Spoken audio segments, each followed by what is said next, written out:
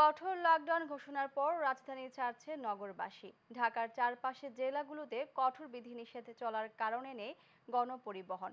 তাই ভোগান্তির শেষ নেই ঘরমুখো মানুষগুলোর। সকাল থেকে দেখা যায় গাবতলী এলাকায় ঘরমুখো মানুষের চাপ বেড়েছে। প্রাইভেট কার মাইক্রোবাস মোটরসাইকেল সহ অন্যান্য যানবাহনে করে ঢাকা ছাড়ছেন যাত্রীরা। এক্ষেত্রে তাদের গুনতে হচ্ছে বাড়তি ভাড়া। এদিকে দেশের পূর্বাঞ্চল থেকে রাজধানীতে ঢোকার প্রবেশমুখ সাইনবোর্ড চিটাগাং রোডেও আছে বাড়ি ফেরা মানুষের চাপ।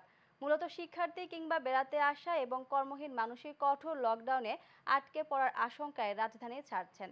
তার উপর দফায় দফায় বৃষ্টি, তাদের ভোগান্তি বাড়িয়েছে বহুগুণ ভিড় বাড়ছে ঘাটগুলোতেও। এসব মানুষদের মধ্যে করোনা বিধি মেনে চলার কোনো বালাই ছিল না লেখাপড়া করাইতে পারি না দেখ, গাড়ি আমরা কেমন করতাম?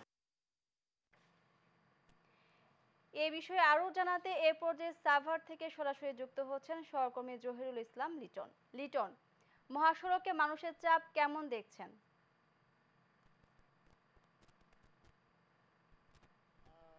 মাহমুদা আমি যদি আপনাকে একটু বলতে চাই তাহলে আপনার আপনি জানেন যে ঢাকা লাগোয়া যে সাভার উপজেলাটি রয়েছে এই উপজেলায় কিন্তু আহ, যে যখনই লকডাউনের ঘোষণা এসেছে যে লকডাউনের পরেই কিন্তু যে ঘোষণাটি এসেছে যে শাটডাউন সেই শাটডাউনকে কেন্দ্র করে কিন্তু এই এলাকার সমস্ত লোকজন যারা রয়েছে, তারা কিন্তু সবাই বাড়ি যেতে, যে যার মতো ছুটছে। এবং আমি যেই দাঁড়িয়ে আছি, এই সড়কটিতে কিন্তু সকাল থেকে আমরা দেখেছি তীব্র যানজটের সৃষ্টি হয়েছে এবং প্রচণ্ড রকম যানজট। এখান থেকে কয়েক কিলোমিটারে জ্যামে বসে আছেন সমস্ত লোকজন। আমরা সেখানে সড়ক প্রদক্ষিণ করে সেখানে দেখেছি যে যে যেভাবে পারছে, এখানে দূরপাল্লার কোনো গাড়ি না থাকলেও লোকাল গাড়িতে করে আহ, এবং ভ্যান রিক্সা করে যে যেভাবে পারছে সেখানে সেভাবেই বাড়িতে যাচ্ছে এবং আপনাদের সামনে, আহ, যে আপনাদের মাস্ক ব্যবহার বলি সেখানে দেখা যাচ্ছে যে মাস্ক অনেকেই সামাজিক সোশ্যাল যে ডিস্টেন্স সেই ডিস্টেন্সটাও কিন্তু মানতেছেন না এবং মাস্ক পরেই তো অবস্থায় কিন্তু কাউকে দেখা যায়নি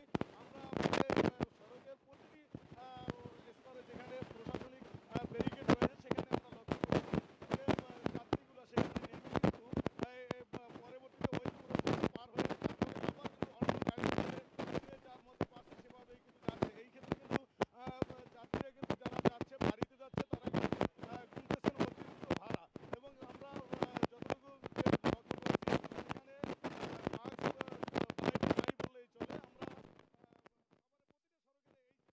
আপনাকে। সাভার থেকে যুক্ত হয়েছিলেন সহকর্মী জহিরুল ইসলাম লিটন।